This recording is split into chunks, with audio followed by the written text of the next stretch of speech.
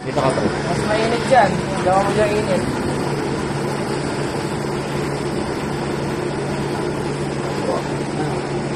Okay na. Okay na. Malambot na. Para mahugod. Yung gagawin nyo dyan, ito, tutugtungan nyo to. Tutugtong, liko. Tapos yung baba. Tapos yung liko ulit, pataas para dito. Ito, didiretso Pag nyo ganun yan. siya.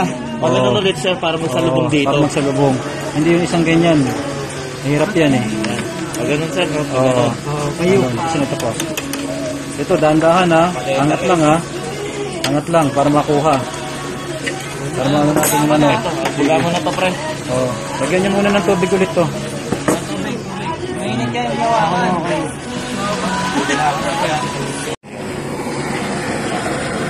Pre, pero mga long nose pre. Yun. Alis na. Alis na. Oh, mo na. Maba. Wala. Wala. Hindi pa. Hindi bumaba. Ito. Latest. Tapos yan, nawala ng preyon. Oh, pa ito milyon. Ilang taon ang gamit yan? Mga ano daw sir, mga lima. Limang taon. Oh. Bago pa ito, mabili lang to. Limang taon pero medyo kinakalawang na ah. Sa cleaning yan. Hindi mo cleaning. Kailangan cleaning talaga yan. Limang taon tapos yung walang leak. Oh. Parang nga siya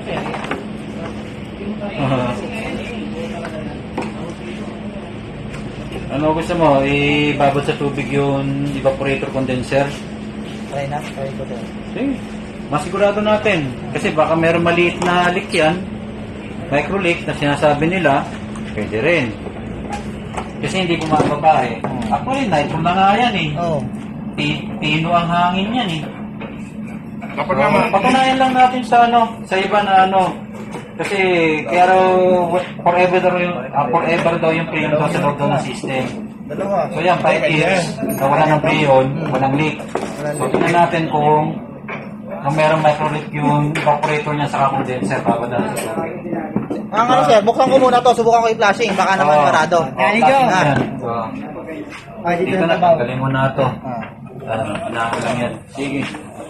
Patunayan natin na ano, na nawawala talaga yung preyon pagka na na-overcook ko kaya factory defect, kulang yung refrigerant. May mga ganyan din eh. Yan, ebidensya oh. Kalukuhan oh. Pati compressor oh. Binabad oh. Oh, ayan oh. Oh, mahanap, mahanap lang yung leak. Oh. Bawal yun sir, di ba? Uy, ano yan? Bakit meron yatang...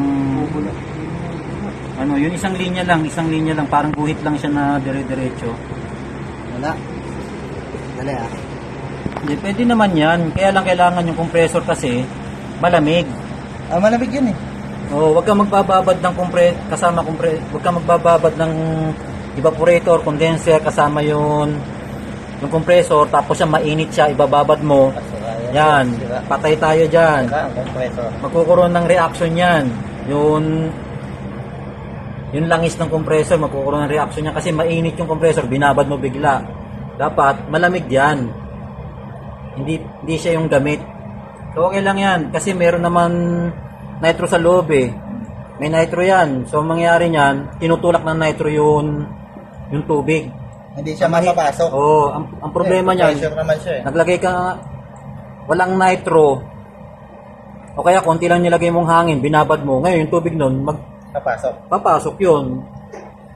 Magpapalitan lang sila kasi wala kang walang nitro na tumutulak eh. Dapat open din yun eh. Yun.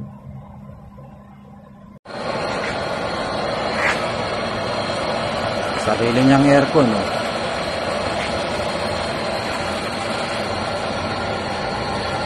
Kontrata niya oh, kontrata. Kinontrata ng aircon. Ano yun na window type? Oh. Window lang sir. Oh. Kapalit lang eh. Hmm. Kaya mo na yun. Ay, good ka nga pala. Yeah, ako na. So yan, ah, may special service tayo, may nakiusap na isang tao, ilang beses nang niloko, yung aircon daw niya hindi lumalamig pa rin.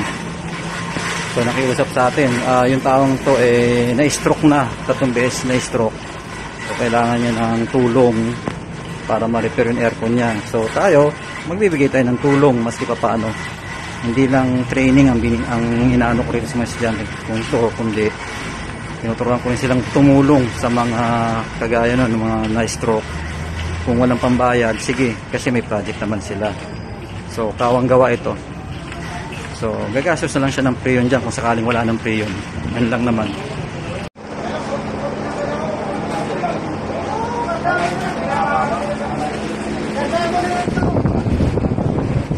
Na lang. Hanapan natin ng tatanggal.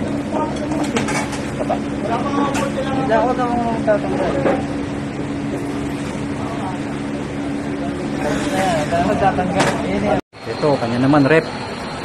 R600. Loading na. Okay na to. 600A.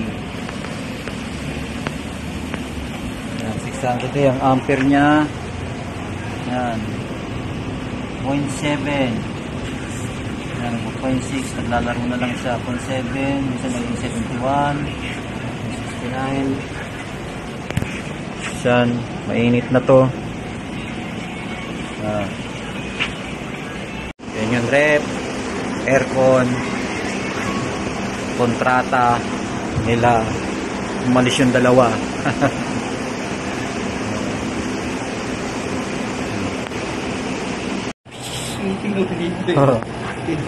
Ayan, pag mali ang gauge, ayan, pag mali ang gauge ang ginamit natin sa 41 410A, pag mali, dito tayo babase sa clamp ammeter. Ayan, nagpupo- nag-pour na siya kanina eh. 3.9.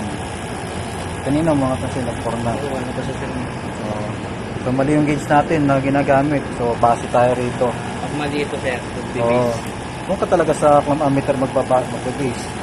Pero kahit na mag-base ka, tansyahin mo yung pasok ng refrigerant. Kailangan equal sila. 50-50 o kaya 60-40 o 70-30. Yan, mas marami yung vapor kaysa rin sa liquid dapat. Ah, ganyan. O kaya 50-50. Ayan o, nag-pour na o. 4.03. O, tumaas siya o. Eh, nakalagay ron, 4.1. Oh, 4.1. Oh, hintayin pa natin yan. Angat pa yan, oh. 4.01. Oh, 4.03. Maangat pa siya. Ayun lang. 410A yan, ha, yung refrigerant yan, ha. Oh, hindi tayo bumase rito. Sa ampere tayo bumase, sa amperahe niya. Basta wag lang sira yung specs non sticker dun sa ano, sa body. Pagpapasiyan talaga, sir. Oo, eh yung ibang technician, sinisira eh. Para yung susunod na technician, mahirapan eh, mukong eh. Eh, paano kung batikan yung technician? Tulad ng tinuturo ko sa inyo, kahit na ganyan yan, at titingnan nyo naman, kung nag-yelo dyan, medyo babantay-bantay ka lang. Ganun lang.